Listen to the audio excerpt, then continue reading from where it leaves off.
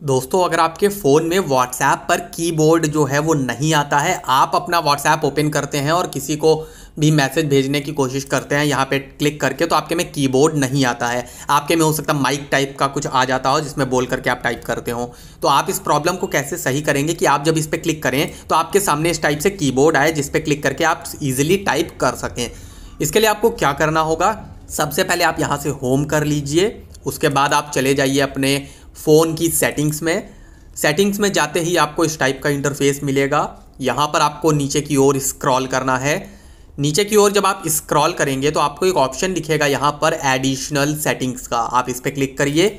इस पर क्लिक करते ही आपको एक ऑप्शन दिखेगा लैंग्वेजेस एंड इनपुट का। आप इस पर क्लिक करिए और इस पर क्लिक करने के बाद आपको यहाँ पर मैनेज कीबोर्ड्स का एक ऑप्शन दिखेगा। आप इस पर क्लिक करिए। इस पर जैसे ही क्लिक करेंगे तो आपके सामने इस टाइप के कुछ ऑप्शंस आएँगे। अब आपको करना क्या है? आपके में अगर कीबोर्ड नहीं आ रहा है तो कीबोर्ड वाले ऑप्शंस आपके में बंद होंगे और आपके में जो अदर ऑप्शंस हैं, ये ऑन होंगे, जैसे हम यहाँ पे दिखाते हैं इस टाइप से। आपके में या तो ये ऑन होगा या फिर ये वाला ऑन होगा और ये वाले जो ऑप्शन है, बंद होंगे। तो आपको करना क्या है? आपको जो भी कीबोर्ड इनमें से लगाना है, आप उसको क्लिक करके यहाँ पे ऑन कर लीजिए। फॉर एग्ज़ाम्पल हमें इस कीबोर्ड को लगाना है तो हम यहाँ पे ऑफ़ पे क्लिक करेंगे और उसके बाद यहाँ पे ओके पे क्लिक करेंगे। यहाँ पे ओके पे क्लिक करेंगे तो ये ऑन हो जाएगा, इस टाइप से ऑन लिखा दिखा देगा।